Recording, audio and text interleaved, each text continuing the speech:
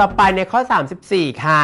ข้อ 34 ให้เราดูคำประพันธ์และถามจุดมุ่งหมาย เขาบอกว่าจุดมุ่งหมายของเขาเนี่ยต้องการจะตักเตือนผู้ใด